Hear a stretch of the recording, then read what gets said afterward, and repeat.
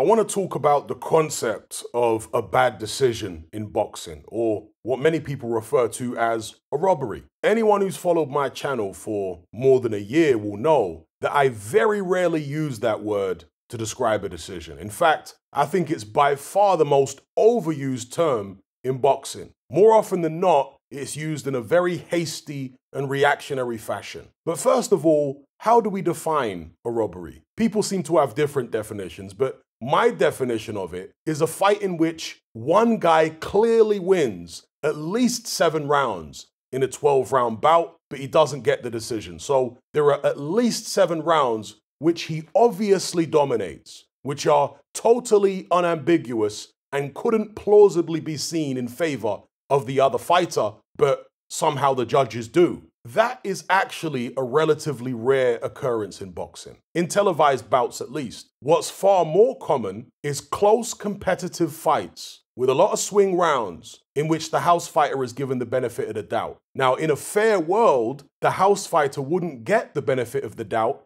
in those types of fights any more than 50% of the time. But in our unfair reality, it's closer to 70% of the time. So that is evidence of bias, yes but it's bias which, on a case by case basis, usually falls within the realm of plausible denial. Let's take Callum Smith versus John Ryder as an example. A fight I got a tremendous amount of stick for because I said it was not a robbery. Public perception is often influenced by expectation. If going into a fight you expect one guy to dominate and barely get hit, but the fight actually turns out to be highly competitive and the favorite is getting hit a lot, the shock of that can warp your perception. You start to hyper focus on everything the opponent is doing, every punch he's landing, and ignore what the favorite is doing. That's what happened in the Callum Smith John Ryder fight. People were so surprised by the success John Ryder was having, and they were so focused on it that they managed to blank out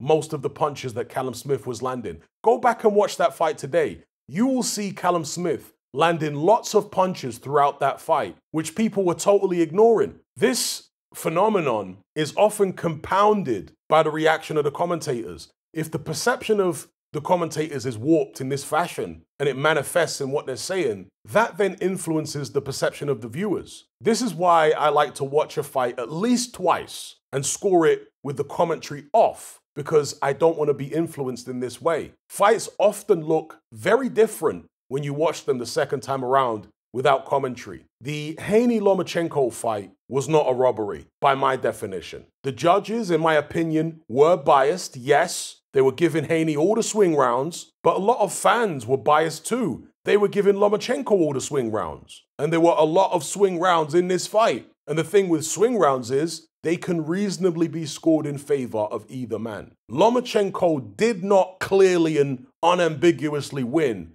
seven or more rounds in that fight, and neither did Haney, of course. And that's why it's perfectly reasonable to score the fight in favor of either man. There's also the fact that Lomachenko had a few big rounds late in the fight, rounds which he clearly dominated, whereas the rounds Haney won were more marginal and therefore not as memorable. Lomachenko is also a more popular fighter than Devin Haney, so it stands to reason that the majority of fan bias would be in his favor. You've got people like Paulie Malignaggi saying that the betting odds going into the 12th round were in favor of Lomachenko, and that's somehow supposed to prove that he was dominating the fight. But in the real world, we know the odds are influenced by the direction in which the public are betting. It's based on public perception. If public perception is off, the odds will usually be off. And in the real world, we also know that Malignaggi has beef with Devin Haney. They've been going back and forth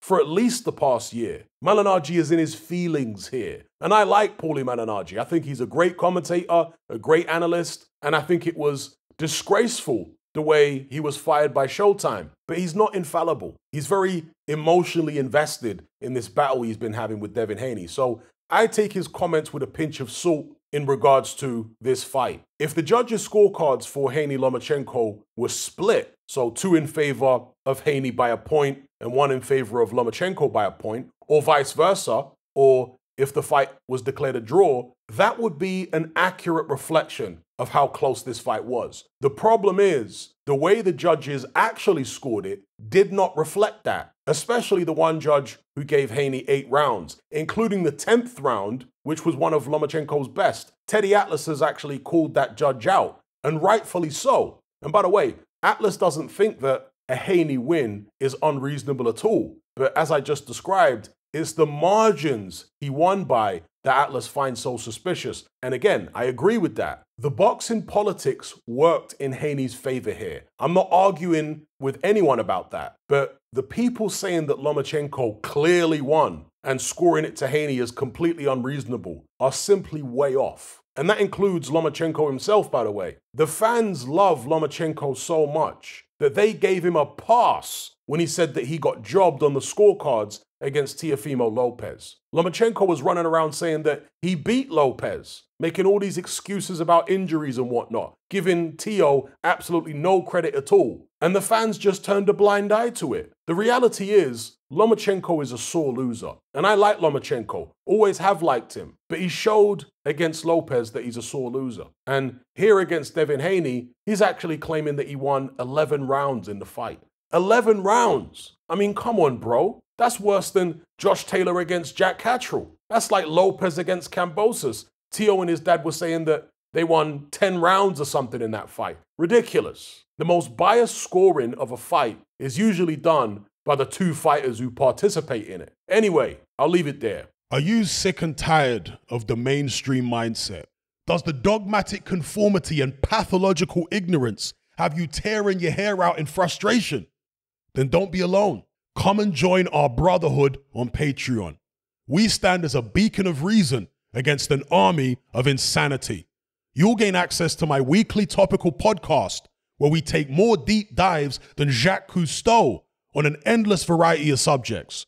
There's also videos, interviews, live Q&As, as well as a vast back catalog of previous episodes including my popular Confessions of a Nightclub Bouncer series. You can listen via the Patreon app or download in high quality MP3. Connect with myself and hundreds of other members in our Element chat group. There's no contract, no commitment. You can cancel at any time, and it's cheaper than a Mickey D's McMuffin. Just head to my Patreon page via the link below this video and select the tier called the Brotherhood of Reason. I'll see you over there.